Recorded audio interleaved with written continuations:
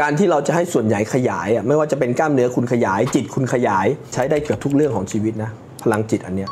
เพราะทุกอย่างมันคือการเตรียมจิต ถ้าคุณเตรียมจิตมาก่อน มันจะง่าย ถ้าคุณไม่เตรียมจิตมาก่อน มันจะยาก มันจะถูกคนอื่นกลืนไป เก็ตปะมันจะถูกสิ่งภายนอกอิ f ฟ u e n c e ภายนอก อิทธิพลภายนอกกลืน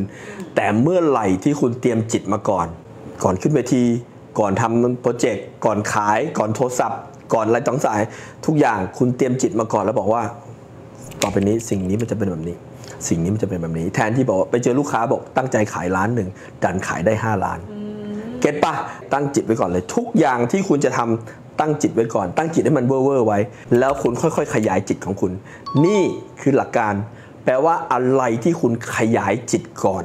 ร่างกายคุณมันจะตาม ก็อย่างที่คนโบราณบอกจิตเป็นนายกายเป็นบ่าว100%